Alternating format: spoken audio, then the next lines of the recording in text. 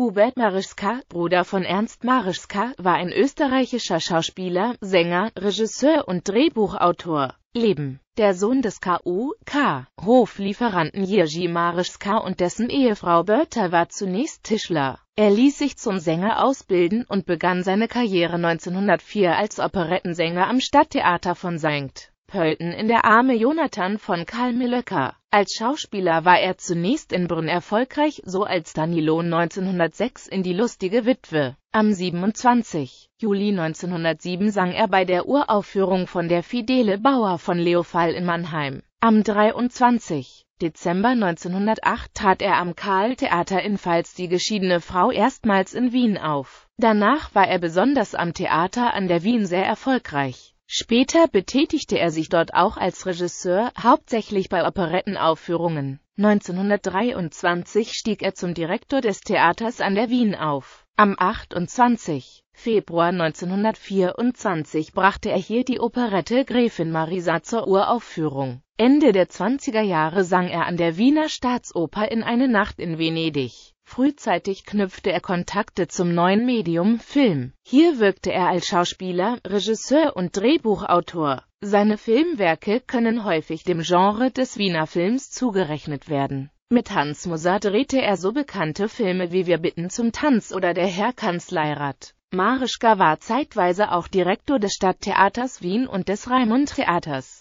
Leiter des Papageno Musikverlages und im Fach Operette Professor an der Akademie für Musik und Darstellende Kunst. Im Jahr 1907 heiratete er Felicitas Anna Lissy Leon, die Tochter von Victor Leon. Mit ihr hatte er drei Kinder, die spätere Schauspielerin Liesel, Victor und den späteren Regisseur Franz. Nach Lizzys Tod heiratete Marischka die Tochter des Theaterdirektors Wilhelm Karczak, Lilian Lilly Karczak. Während des Krieges war er nach der Scheidung kurz mit seiner dritten Ehefrau Juliane verheiratet. 1946 schloss er mit der Schauspielerin Trude Baschhafel seine vierte Ehe. Hubert Marischkas ehrenhalber gewidmetes Grab befindet sich auf dem Hietzinger Friedhof in Wien. Im Jahr 2009 wurde in Wien-Floridsdorf die Marischka-Promenade nach ihm und zweien seiner Brüder, Karl und Ernst, benannt. Libretti 1947 Glück in Monte Carlo gemeinsam mit Bruno Hartwaden Musik Ludwig Schmidt-Zeder 1948 Die Walzerkönigin Musik. Ludwig Schmidt-Zeder. 1949 Abschiedswalzer gemeinsam mit Rudolf Österreicher. Musik. Ludwig Schmidt-Zeder. Filmografie